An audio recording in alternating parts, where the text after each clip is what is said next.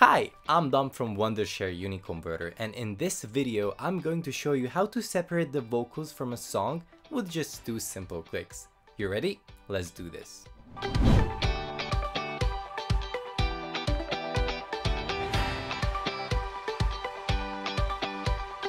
One of the latest features of the Uniconverter 14 is the Vocal Remover tool within the AI Lab. It's a 100% free and super easy to use. So what can you do with a tool like this? Well, first of all, you can create your own karaoke tracks and cheer up your life with some singing. While singing, you can release stress, and with a karaoke party, you can turn up your social life too.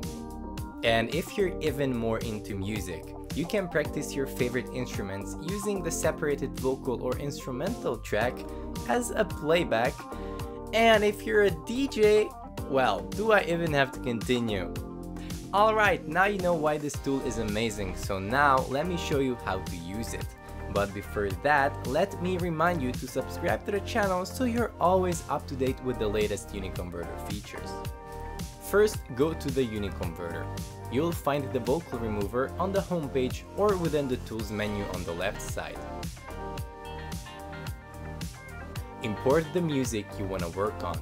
The vocal remover supports MP3, M4A, WAV, and a bunch of other file types that you can see on the screen. And in case you have a video file, the vocal remover will separate the audio from it if it's a MP4, MOV, MKV or AVI file. So after the vocal remover analyzes the file, you will see three audio tracks. One of them is the original one, then comes the extracted instrumental and the vocal.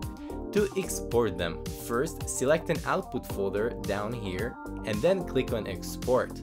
The files will be saved to your chosen folder. And if you want to start working on another file, click here on the replace button and import a new file. And that's it, super easy right? If you liked the vocal remover tool, please give this video a big thumbs up and make sure to subscribe to the channel so you never miss the latest features of the Uniconverter. Let us know in the comment section below which song you used the vocal remover for and I am going to thank you for watching and I'm gonna see you in the next video.